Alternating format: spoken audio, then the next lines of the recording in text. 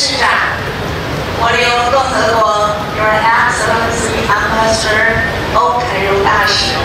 还有美国在台协会高雄分处张子林处长，日本台湾交流协会高雄事务所奥正史所长，以及土瓦鲁、韩国、加拿大、泰国、欧洲商会等世界代表，立法院各位立法委员、各位副会首长、各位海洋职工、各位贵宾，还有特地来参与海洋日海洋大会师的帆船独木舟的好手们，大家早安，大家好。好。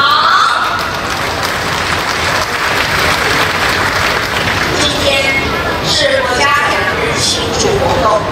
我们齐聚在高雄河海交汇之处，独木舟与帆船在这里会师，这是一个极具象征意义的画面。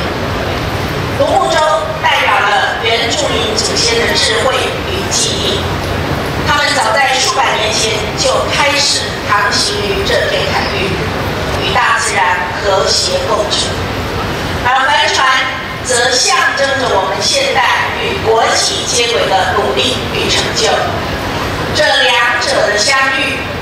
不仅是一个历史的回顾，更是一个面向未来的展望。今天，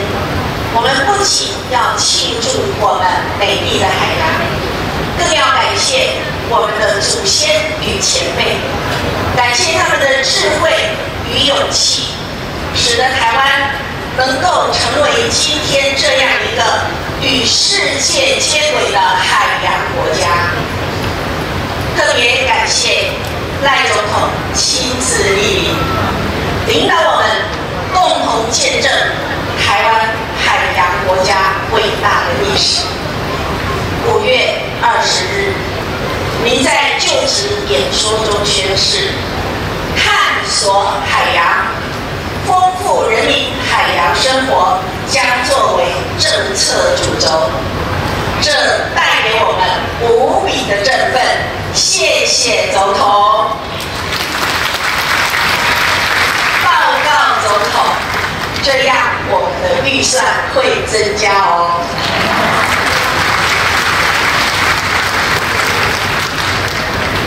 委员都同意了。从一百零八年制定《公布海洋基本法》，一百零九年颁布《海洋政策白皮书》之后，海委会积极推动海洋生态与安全。从去年《海洋产业发展条例》完成立法，《海洋污染防治法》及《海洋海岸巡航机关器械使用条例》的部分条文修正案通过。今年六月六日，《海洋保育法》再通过的立法院内政委员会初审，这对于海洋事务的推展是重要的一步。我要对各界的支持表达诚挚的感谢，也要向海委会的同仁们说声辛苦了。海洋保育法能在国家前夕出审，也证明这是朝野及社会的共识，和在座关心海洋的大家多年来的努力受到肯定。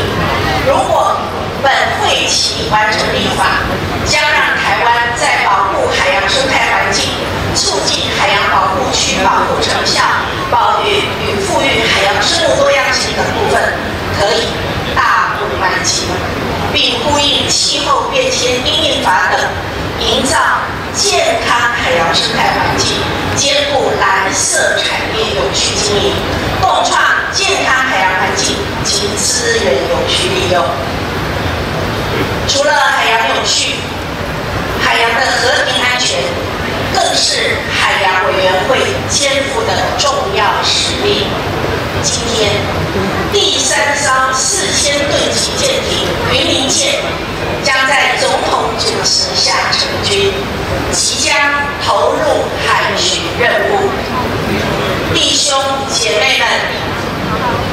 当我们看到总统面对全世界，为台湾大声疾呼“有主权才有国家”，我们就要了解，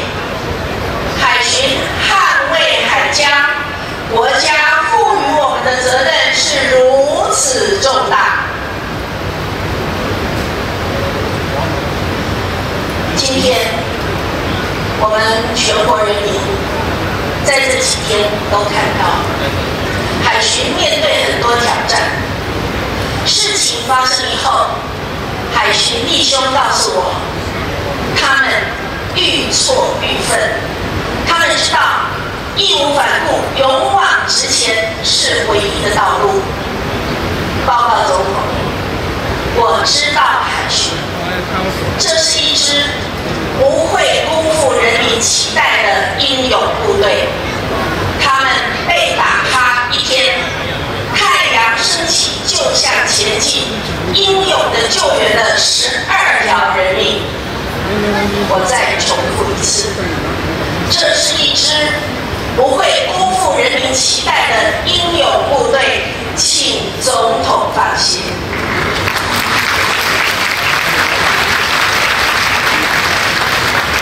今天在这里，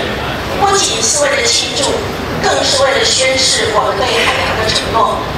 气候变迁、环境污染、生态破坏，这些问题都需要我们共同面对与解决。我们要创造一个和平、永续、繁荣的海洋环境，这是我们这一代人的责任，也是我们对未来世代的承诺。我在这里要借各位的双手，用掌声向我们现场获奖的海洋之功及海洋各项贡献奖的得主表达感谢。他们正是我们可以完成对未来世代承诺的最有力量的工作伙伴。谢谢你们。